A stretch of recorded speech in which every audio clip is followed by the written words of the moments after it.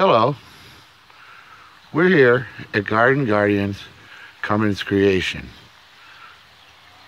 We're as busy as the elves at Santa's workshop in preparation for this year's third annual Firefish Festival to be held in Lorain, Ohio, October 6th and 7th. Full family enjoyment. Stay tuned for details. Thank you.